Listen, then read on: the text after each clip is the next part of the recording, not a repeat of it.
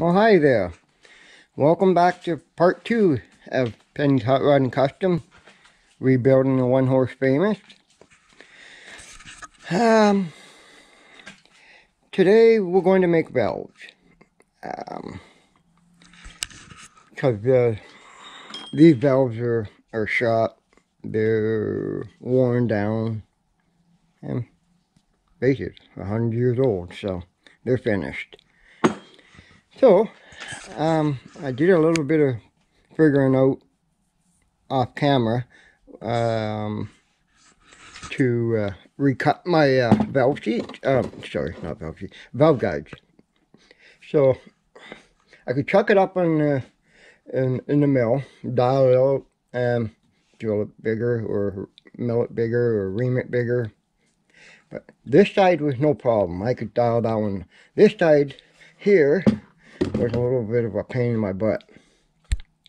But I put on a faceplate. I like to get on the back side of it and then dial that in and then drill.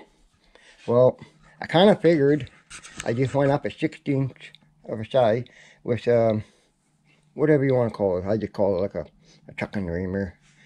And I was able to ream it out about, I'm going to say about 90% of it of the uh, the valve guides out, which I'm quite happy. I don't think camera's going to pick up the new uh, the new cut in there, but uh, it's going to work for what I want. And if I'm off a little bit, no big deal, because we are going to regrind the seats. So I can be off a little bit, doesn't matter. Alright, so we've done that part. Now the valve. The valve I'm going to make since this is a smaller engine, it's never going to work that hard. And you're going to make it out of 4140 steel. Here's a piece right here. I was using for something, but I can't remember, but it worked out perfect because it's the same diameter up here. And you've got to chew this down to, uh, I think it's 2154. I'm not too sure. We'll figure that one out. But, um, so set that up in the lathe and I already got one set up. We'll get it in in a minute. And then uh, we'll cut it down. And one thing important you never want to have a sharp edge. Because if you have a sharp edge here or something heat tends to uh, build up there and crack. So it's always important to put a radius in your joint. Like sure this is going to have a little bit more of a margin here. It'll be thicker so it won't be as uh, thin that's one thing. And we also, we have some thread to worry about. Since this is going to be a little bit bigger, we'll have to bring this size down a little bit so we can put the uh, the original hardware back on. Or I could just say screw it and make new hardware, but in this case I'm only going one size bigger, so I'll make it all work. And this is just like a, what I just quickly ground up to get a, a quick profile so I can get a good radius in there. Uh, yeah, so that covers that and we'll go over to the lathe and start cutting a valve. Okay, you can see I've got my uh, 4140 ready to piece of steel that we'll use for uh, making a valve. It's, I've got it all dialed up in a four jaw chuck. Um, so now, well, I've taken my measurements. a little bit bigger than 516. I went with a couple of files smaller than the size I reamed out in the uh, head, so that way the valve can move freely without uh, binding or seizing up. So now, we'll start, uh, right now I'm just going to cut up to right here because this is going to be my bigger diameter. I got to turn this down to make my valve stem, which is a little bit bigger than 516. And um, go from there. I got my safety glasses on. And we'll start, I'll show you guys a little bit of action cutting, but not the whole thing. But that's too long and boring. But we'll see what we can do here.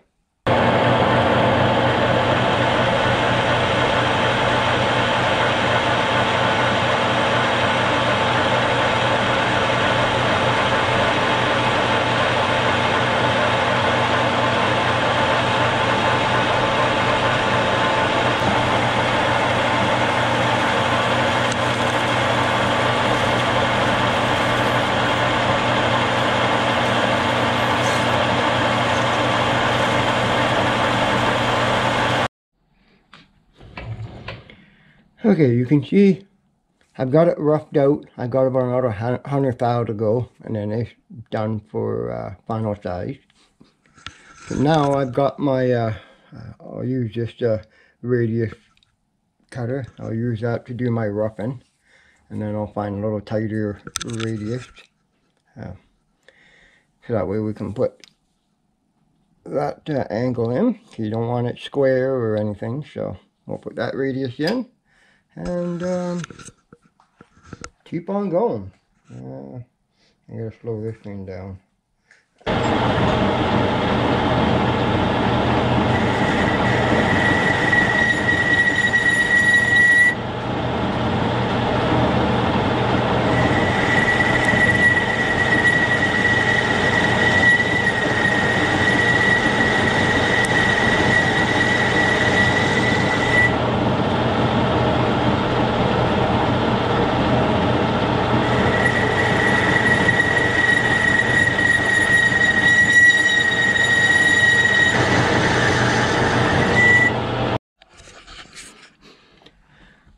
Okay, I turned down the stem of the lathe down to the final size. It's perfect from here to here, just like the um, other uh, valve. You can see how we're going to be.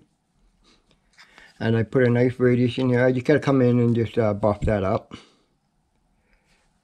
And then all we have left to do is of course cut into the right length and put some thread into here. Um, I don't know if I'm going to do this the lazy way or what. Because the lazy way is just uh, cut this off right here and then just stick it in um, uh, valve grinding machine and just grind it in instead of, I don't know, instead of setting a compound and chewing it out. We'll see.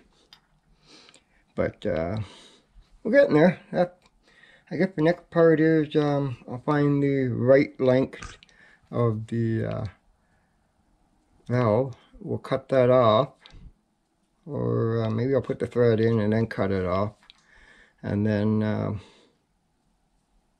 I'll put the face on this on uh, the new valve and buff that up too. Alright, I um, set my uh, compound at 45 degrees. That's what I kind of figured out this way. That's the angle on this valve. So we'll just copy that.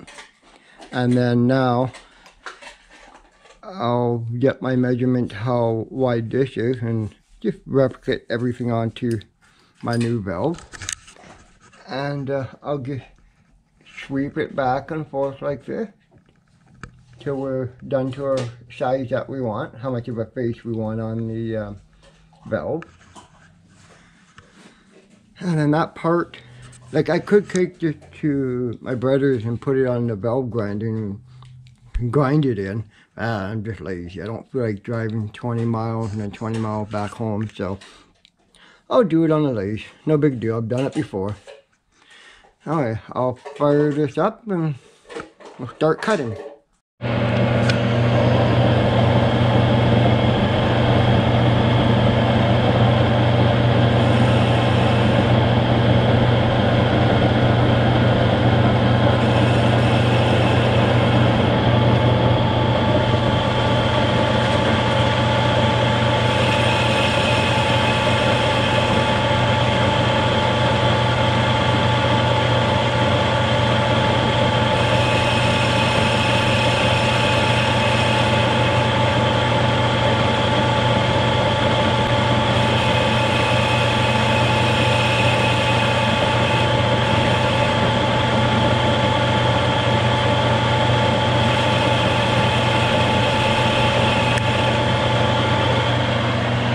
Okay, we started there. So now I'm going to do is um, just take my measurement. It can be roughly, it doesn't have to be too critical. Okay, um, about 11, 11 no, whatever that is. Uh, oh, we got another, yeah, about 50,000 to go. Now fire it up and then it'll just, I'll be doing the same thing I just did a minute ago. Um, and I'll put a real nice finish and then we'll have to lap each in by hand to get a very nice finish. But you'll see it. Alright, I got uh, gathered up some tools.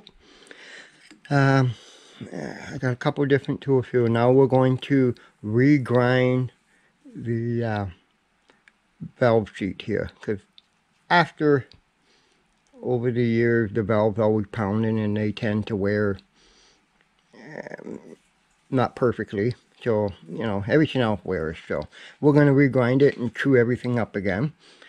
And this is my uh, pilot.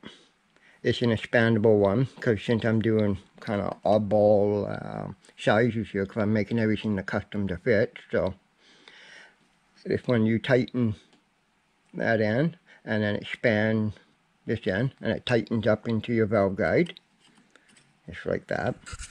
And then uh, when when that's all tight that'll center this truly to this hole.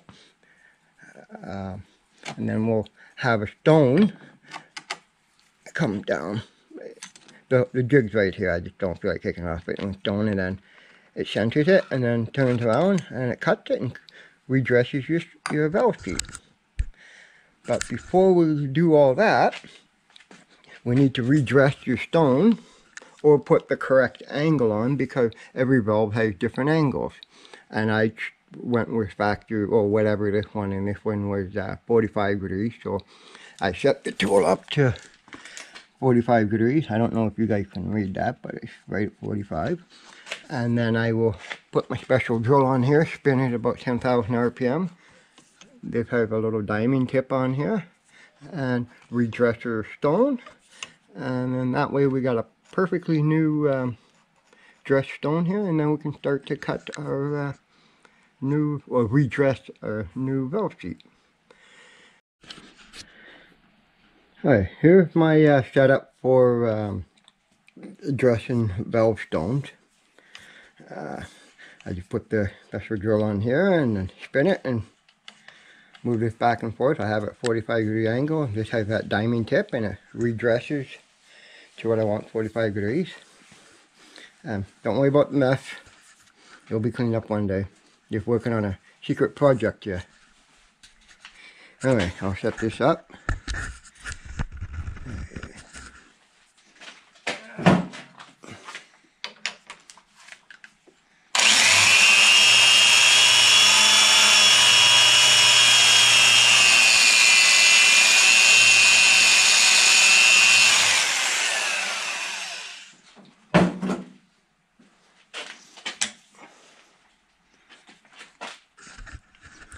That's a nice new 45 degree uh, stone cut. So now we'll take it over to the um, head and we'll uh, grind a new face into the seat.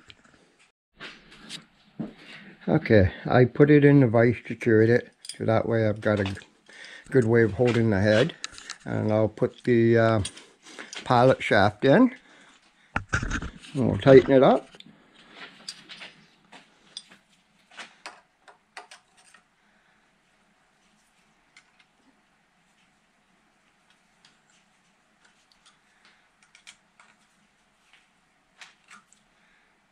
Good secured. And now, that's our uh, new dress stone. I'll put it down. Look pretty damn close, so keep it up a little bit. I know there should be a spring in here, but this is the way I've always done it. All right.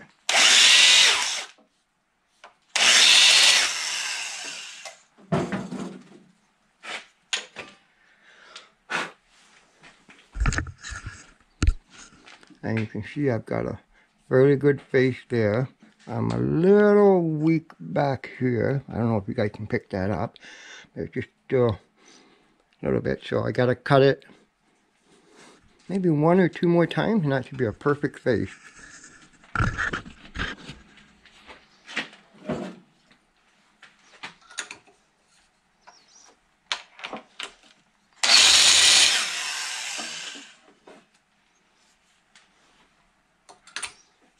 One more for good luck.